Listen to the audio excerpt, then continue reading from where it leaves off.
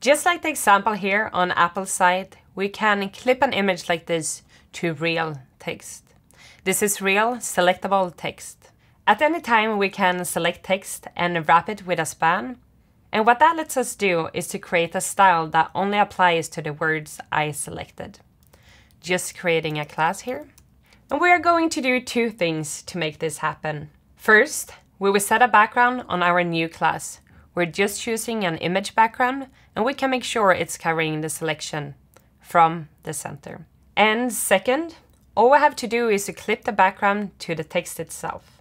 And that's it. Span text with a clipped background, perfectly selectable. And since it's actual text, it's search engine friendly.